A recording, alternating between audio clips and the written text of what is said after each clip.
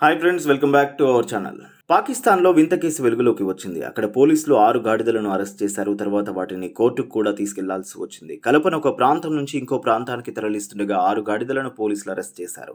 అనంతరం కోర్టులో హాజరుపరిచారు. అయితే కలప స్మగ్లింగ్ మాఫియా గాడిదలను ఉపయోగించుకుంటున్నారు. పోలీసులు గాడిదలను అరెస్ట్ చేశారు.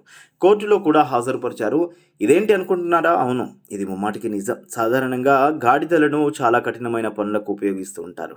ఎందుకంటే దానికి పనిచేసే శక్తి చాలా ఎక్కువ. మెమరీ పవర్ కూడా చాలా ఎక్కువ.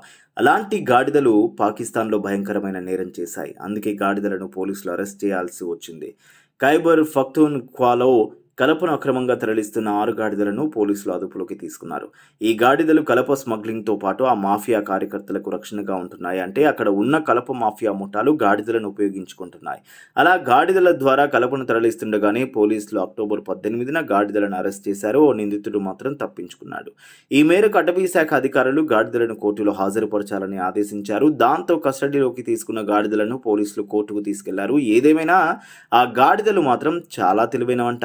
ఎవరి సాయం లేకుండానే స్వయంగా కలపను. ఒక గ్రామం నుంచి మరొక గ్రామానికి అక్రమంగా రవాణా చేస్తాయంట. ఇదిలా ఉండగా పాకిస్తాన్లో గాడిద ఓ ముఖ్యమైన ఆదాయ వనరని చెప్పాలి. ఎందుకంటే దేశ జీడిపిలో కూడా ఈ గాడిదలదే ఎక్కువ వాటా. దేశంలోని ఎక్కువ భాగం పూర్తిగా పశుపోషణపై ఆధారపడి ఉంది. దాదాపు ఎనభై లక్షల గ్రామీణ కుటుంబాలు పశువుల పెంపకంలో నిమగ్నమై ఉన్నాయి. సాధారణంగా ఎవరైనా తెలివి తక్కువ పనులు చేస్తుంటే గాడిదలను తిడుతుంటారు కానీ పాకిస్తాన్లో ఈ గాడిదలు చాలా తెలివిగా మొండిగా ఉంటాయి. సో అది ఫ్రెండ్స్ విన్నారుగా మరి ఈ స్మగ్లింగ్ గాడిద గురించి మీరేమనుకుంటున్నారో కామెంట్ చేస్తే తెలియజేయండి. ఈ వీడియో కనుక మీకు నచ్చితే please do like share and subscribe thanks